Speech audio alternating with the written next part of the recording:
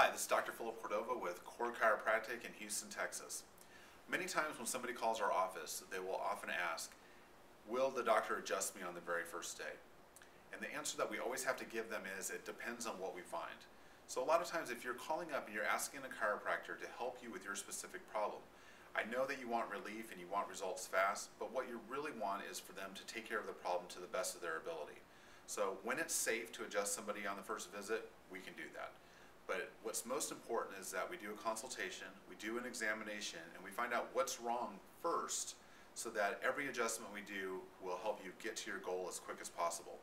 So when you call up and you're wondering if we're going to get adjusted that first day, really think about it as, you know, what's best for me and is adjusting me that very first day the right choice?